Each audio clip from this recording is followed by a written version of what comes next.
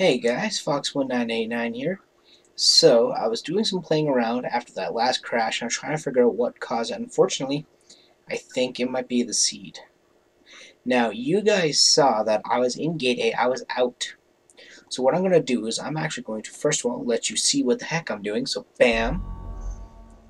Uh, what I'm actually going to do is, I'm going to delete this one. I'm going to put a new game under the same name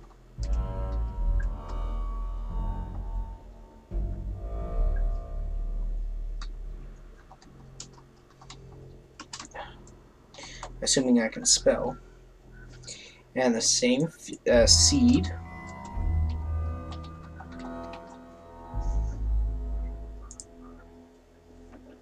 And then what I'm going to do is I'm just going to teleport directly to gate A.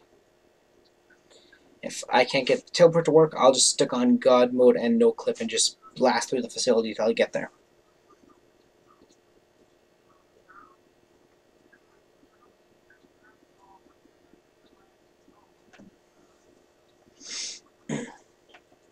Because the only thing left to do is to take the elevator up and walk to victory. That's it.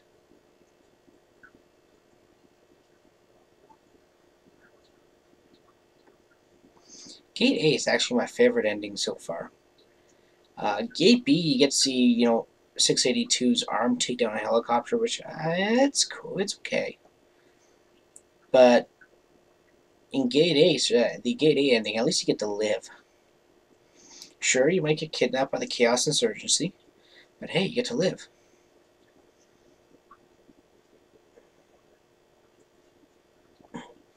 And by the way, in case you guys don't know, for the people who um, don't really worry about the story, basically what happens is it's theorized, and Regalis has said nothing, mentioned nothing about this so far, but it's theorized that Dr. George Maynard was actually a um, spy for the Chaos Insurgency. I forgot to take off the ending, or the intro. That um, Dr. Maynard is a Chaos Insurgency spy. And that what happens is he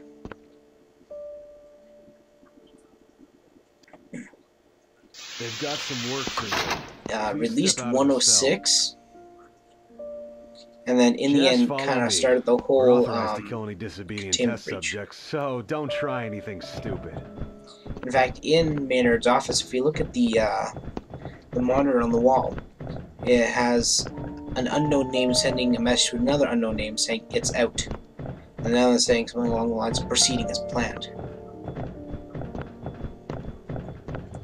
like I said it's presumed that he s- helped start the ca- uh, the containment breach with the help of uh, the rest of the Chaos Insurgency. It's presumed he was then caught by 106 there and follow the instructions from the and possibly killed, which is why the burnt node that leads to his office is Attention all in 106's uh, dimension. Please enter the containment chamber.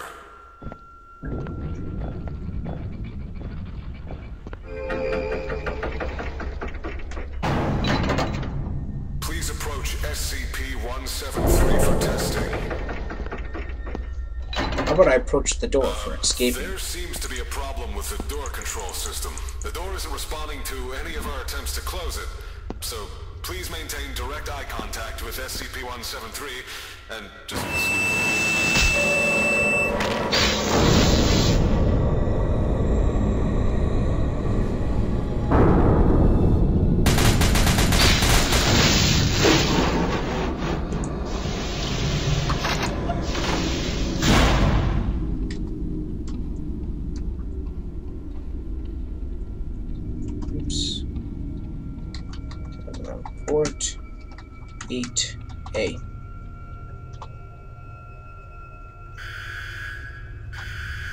TP.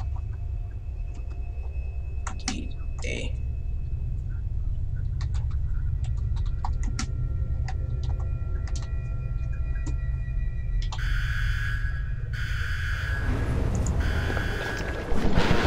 There we go. I actually would have lowered me from the lower area.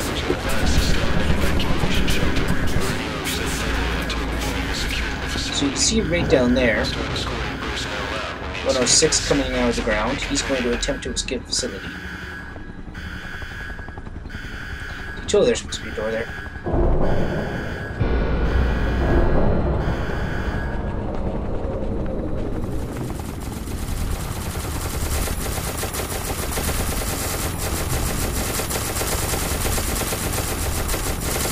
SCP-106 has broken out of the facility at Gate A.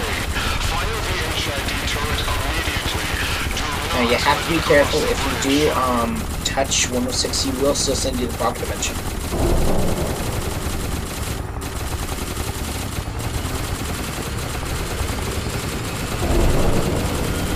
So that's the HID turret, or high intensity discharge.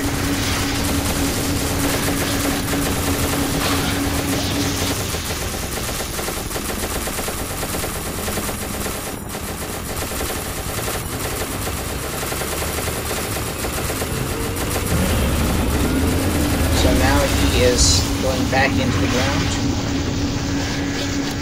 And we're going to make our escape.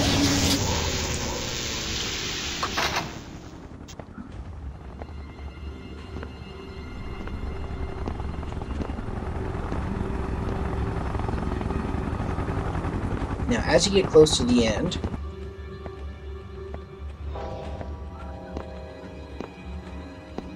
You know too much to let them get you. You're coming with us. I don't know, there's one behind you too. Now you hear that bell that appears? It's presumed that that's the Bell of Entropy, which is one of the um, SCPs that the uh, Chaos Insurgency made out with when they uh, left the actual Foundation back in, I think 1927 is what it says on the wiki.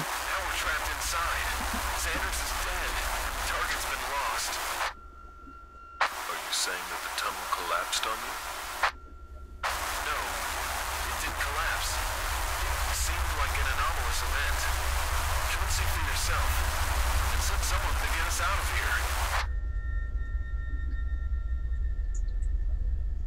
So you hear that where they say that the tunnel seemed to be blocked off or it ca- it caved in, but it wasn't just an ordinary cave in, it was anomalous. So that was most likely due to the Bell of Entropy, which is able to create destruction based on where it struck. So we're going to go down the list. Didn't use console commands. Technically, we had to. We had no choice. So we're going to say check.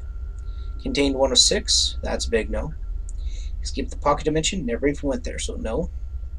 Lure 106 through test the gate. Tried. Failed for some reason. SNAV Ultimate. Yes. Keycard Omni. Yes. The two offices didn't even try, so no. So there you go, guys. That's SCP-173. I went through it with practically no jumps whatsoever. I did jump the one time when um, 173 got me up on the catwalk because he wasn't supposed to be there. But whatever, that's the that's life, right? So uh, thanks for watching, thanks for listening, and this is Fawkes One One Nine Eight Nine signing off.